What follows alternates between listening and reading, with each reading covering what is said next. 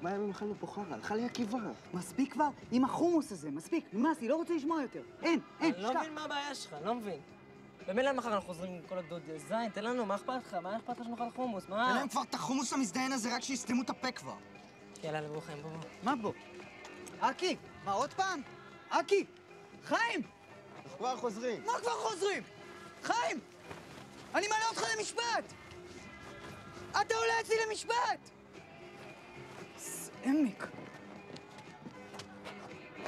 אתה מדאיג אותי.